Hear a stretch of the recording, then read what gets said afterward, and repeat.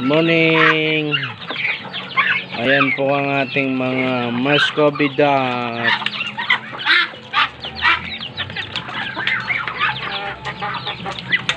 Dito sila pinakain kasi ano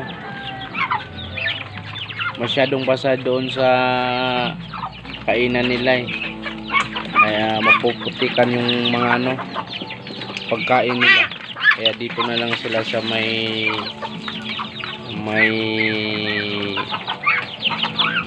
puso. Puso ba yan? Puso. Oh, puso. Puso.